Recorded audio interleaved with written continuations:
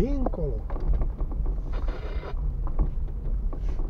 Dar după trebuie să fie, nu aici, înapoi acolo.